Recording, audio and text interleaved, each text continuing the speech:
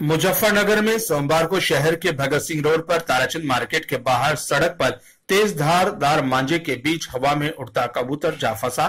इस दौरान जैसे ही इसकी सूचना विद्युत विभाग कर्मियों को लगी तो सड़क के बीच चार पहिया का ठेला खड़ा कर स्थानीय लोगों की मदद से उस बेजुबान कबूतर की जान बचाई गई।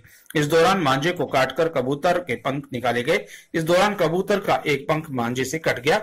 और कबूतर एक पंख से खून टपकता दिख रहा था जनपद में सबसे पहले मांझे के कारण हो चुकी कई घटनाएँ जिला प्रशासन को अवैध मांझे के विक्रेताओं पर भी देना होगा ध्यान